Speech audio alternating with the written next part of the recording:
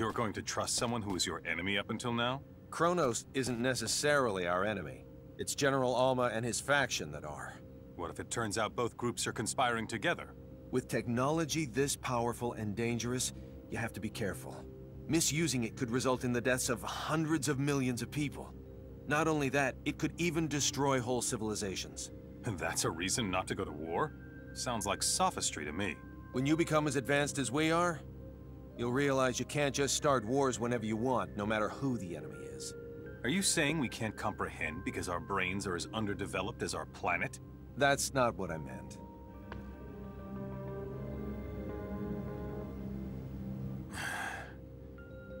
Sorry. Let's not continue this conversation. I respect your decision. Thank you.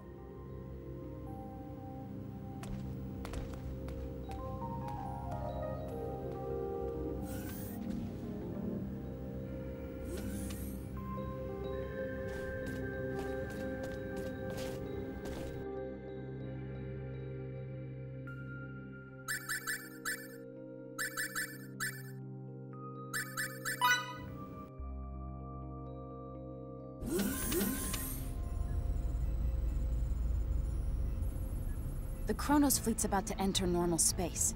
They'll be within Faykreed 4's orbital trajectory in five minutes. Understood. They're emissaries, so we'll welcome them as we would any diplomat. Put him on screen.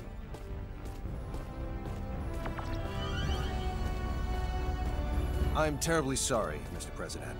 We have yet to receive any transmission from Central Command. There's no need for you to apologize. These things often do take time. I appreciate it. Captain, there's an incoming transmission from Central Command. Put them on. Commander Dean, I'm pleased to report that the President has already arrived in our sector. I see. Ah, President Mutah. It's been quite some time. Yes, it certainly has, Commander Dean.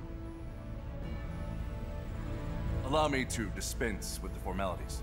The Federation Security Council just finished an emergency session, and I assume both you and Captain Kenny are anxiously awaiting the results. Please. Based on Captain Kenny's report, along with the logs from his ship, the Council's decision is thus. The Pan-Galactic Federation accepts the Central Kronos government's request for aid. As the representative body of the Pan-Galactic Federation, it is our top priority to ensure that peace is maintained. Thus, while we will indeed provide our resources to you, we recommend the utilization of non-violent methods with the opposition. We appreciate the help. However, there is no guarantee that General Alma's faction can be reasoned with peacefully. In such an event, we advocate the use of force to subdue them.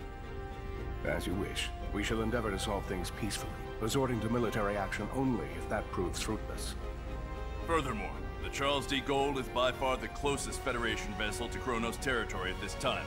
Not only that, but it also happens to be the fastest ship in our illustrious fleet. Therefore, Captain Kenny, I appoint you as the Federation's official ambassador. I'll do my utmost to serve fittingly in this new capacity. One more thing.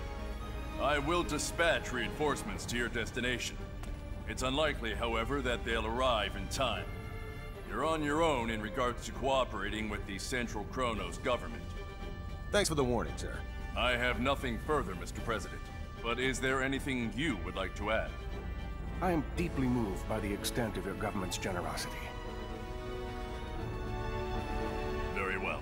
Then I shall take my leave. Captain Kenny, do the Federation proud.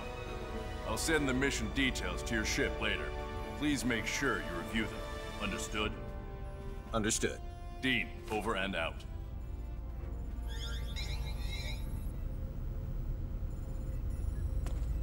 There you go. I look forward to working with you, Mr. President. As do I. Now, sorry if this is a bit too forthright, but let me share what we know about the sector in which General Alma is currently hiding. You already know where he is? We haven't simply been twiddling our thumbs on the sideline this whole time, you know. There is a certain asteroid belt 300 light-years from Kronos Station 4, and it is there that the rebel faction has clandestinely erected its hideout. Let me send you the data we have on it. If we know where they are, I say we start heading there this instant. Very well. We'll send a fleet of ships from the Kronos governmental forces in the meantime. They ought to be able to rendezvous with us once we enter opposition territory. Do you know how many ships there are in the Rebel fleet? Hmm, a dozen or so. But the real problem isn't their numbers, it's their firepower. They have all our most advanced battle cruisers at their disposal. Hmm. Sounds like we'll need to fight tooth and nail to win. Either way, our ship will follow dutifully behind you. May we come out of this on top, sir. Kenny, over and out. Engines to half power.